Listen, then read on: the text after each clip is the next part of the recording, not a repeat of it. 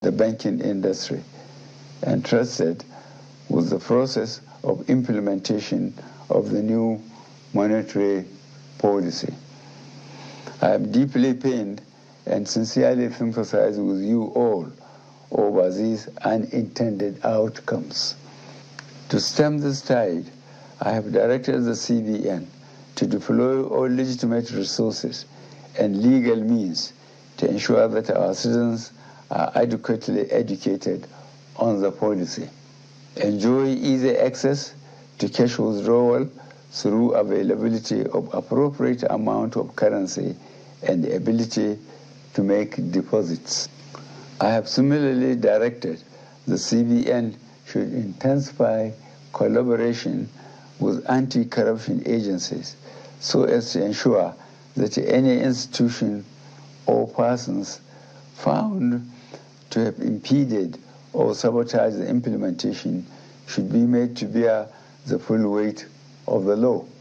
During the extended phase of the deadline for currency swap, I listened to invaluable pieces of advice from well-meaning citizens and institutions across the nation.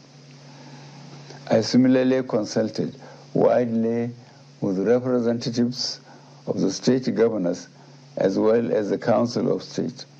Above all, as an administration that respects the rule of law, I have also noted that the subject matter is before the courts of our land and some pronouncements have been made.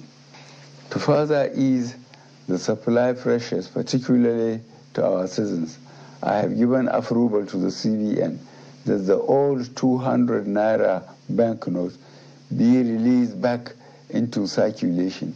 And that it should also be allowed to circulate as legal tender with the new 200 naira, 500 naira, and 1000 naira banknotes for 60 days from February 10th, 2023 to April 10th, 2023 when the old 200 naira note ceases to be legal tender.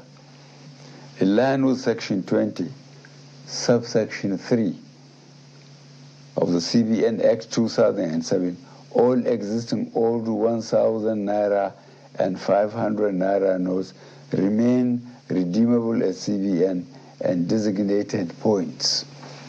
Consider